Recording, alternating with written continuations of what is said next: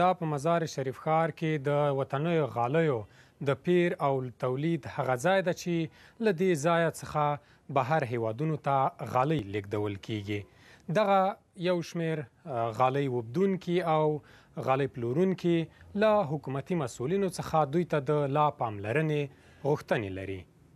وطن خوب است که پشم گوسپند است پشم وطن خود ما و شماست کیفیتش بالاست نقص جانبی نداره و خب از طرف حکومت هم حمایه و مواد خام باید ارزانتر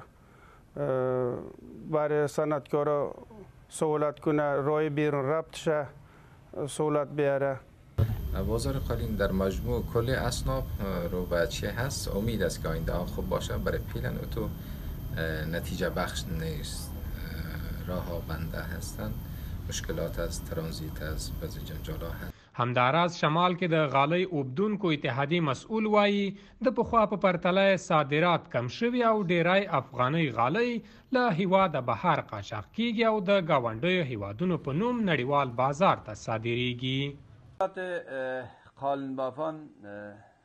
خو امسال وجود داشت داره و داشت اما و یا که زیادتر از بیرون وارد میکردن تاره امسال زیاد از بیرون وارد نکردن چون ما تار متاسفانه صادر کردیم امسال امسال صادر کردیم تقریبا 800 هزار تن اما پشم تار ما بیرون صادر کردیم اما اونا مصادر امسال کمی به قالن بافای ما قالنجا مشکلات پیش آمد اما انشاءالله او را به زودترین فرصت از مرجع دیگه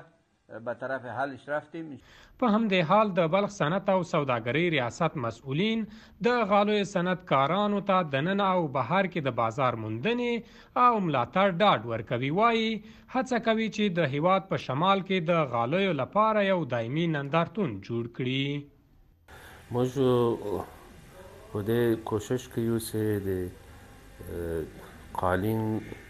د اتحادیې لپاره یو دایمي نمایشګاه داسې یو ځای ورته جوړوو چې یو دایمي نمایشګاه ولري چې د سالیانانو لپاره او خارجیانو لپاره چې دلته راځي هغه تاجران څه دي ممالکو نه راځي دلته ګوري داسې یو مارکیټ ولرو چې دایمي نمایشګاه یې د قالین او تقریبا دا کار موږ شروع کړی ده او یو شپېته اویا فیصده مخته هم تللي یو. د یادونې وړ ده چې د هېواد په شمال کې وطنۍ غالۍ له بېلابېلو رنګونو سره